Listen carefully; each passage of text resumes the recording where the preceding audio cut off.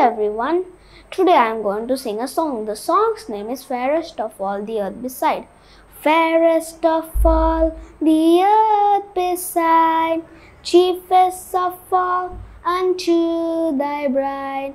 Fullness divine in thee I see, wonderful man of Calvary, that man of Calvary has won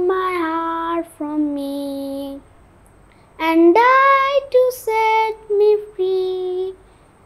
Blessed man of Calvary, granting the sinner's life and peace, granting the captive sweet release, shedding his blood to make us free.